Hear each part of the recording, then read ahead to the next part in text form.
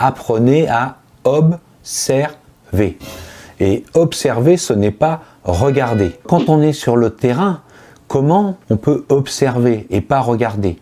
Euh, Moi, je vous conseille de faire un dessin de l'affleurement que vous voyez et de faire des allers et retours entre ce que vous voyez et votre carnet de terrain. Vous allez voir, il y a plein de détails que vous allez euh, rajouter. Et plus vous serez fidèle, et plus vous rentrerez dans l'interprétation ensuite.